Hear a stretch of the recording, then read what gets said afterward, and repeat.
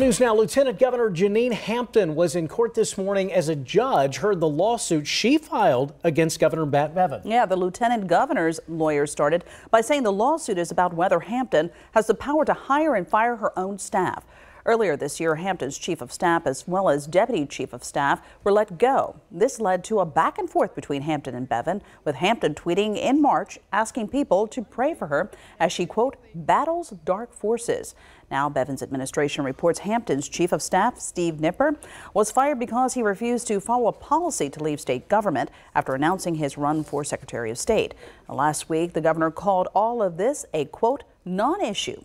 The governor's lawyer said in court, quote, this is a minor disagreement between two friends, end quote. We will have the very latest on the lawsuit coming up for you later today on LEX 18 News. And speak